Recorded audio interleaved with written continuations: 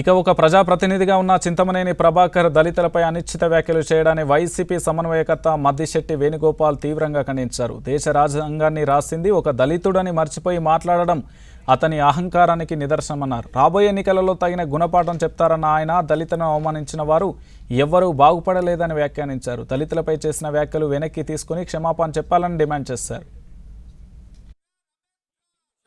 ప్రభాకర్ గారు దళితులపై అనుచిత వ్యాఖ్యలు చేయటం ఇది దారుణమైన విషయము.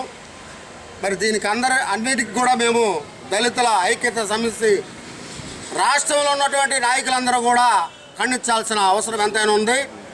అదేవిధంగా ఈ ఈ ఒక్క విషయమే కాదు గతంలో కూడా ఈ చింతమనేని ప్రభాకర్ గారు ఎంఆర్ఓ గారిని అదేవిధంగా పోలీసు వారిని తక్ తక్ ప్రతి ఒక్క కులాన్ని కూడా దూషించుతూ మరి ఆయన చేసిన అరాచకాలని ఖండించాల్సిన సమయం ఆసన్నమైంది. ఈరోజు మన నియోజక దర్శి నియోజకవర్గం అనేటువంటి సమయానికర్త మదిశెట్టి వేణుగోపాల్ గారి ఆధ్వర్యాన ఈరోజు ఇక్కడ అంబేద్కర్కి పాలాభిషేకం జరుగుతుంది.